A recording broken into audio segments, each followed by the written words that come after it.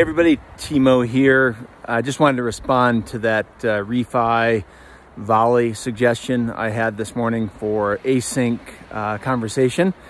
Uh, John and George and Justin at the end of last week's refi before Christmas had a really good thing uh, they were talking about, like intention and attitude and conversation type and tone and how can we come together as a group and make the most of our time together, uh, make the most impact, etc., get the most done. Um, so the you know the idea of Volley uh, app, and I'm open to other apps, whether it be Signal, uh, something with audio, something with video, and the reason being is just I'm going to give this little example here.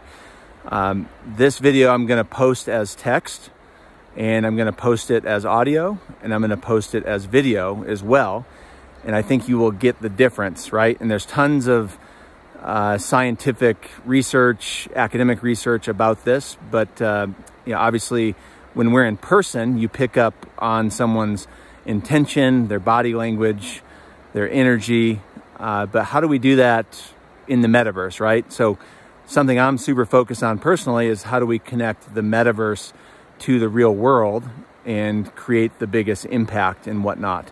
So just as an example, if you're reading this as text or if you're uh, listening to just the audio or if you're watching the video, how do you know that, for example, there's a river behind me and that's the Roaring Fork River here in the Colorado River Basin, wink, wink. Um, and how do you know that um, I'm not freezing my butt off, which I am because it's about 20 something degrees. And how do you know that if like maybe I'm like fully with you and present and giving my full intention to you? How do you know, you know, like what hand gestures I'm using, you know, giving you to the the camera? How do you know if I'm totally distracted?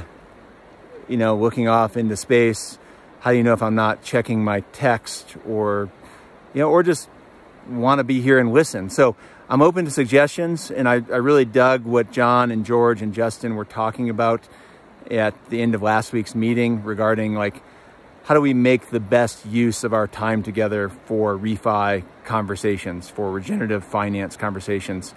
Um, you know, one of the, the initial feedback pieces we got from the initial refi meeting was like, too much time was spent on intros, right? Of like who people are, what they're doing, and we weren't just actually getting into the, the meat of stuff and the heart of stuff. So uh, with that said, open to uh, ideas. And that Volley suggestion was just a way to, um, that app combines all three things, um, audio, video, text, you name it, and it consolidates it into one conversation flow that then can be exported, rewatched, uh, added to whatnot uh, versus like Twitter or Discord is just text, right? Or text messaging isn't that great for groups, even if you can do audio or video, or even Signal or Telegram is kind of scattered and all over the place. So open to suggestions and tactics of which one to use, but uh, just wanted to kind of compare the three text, audio, video, and uh, hope you're having a good New Year's Eve.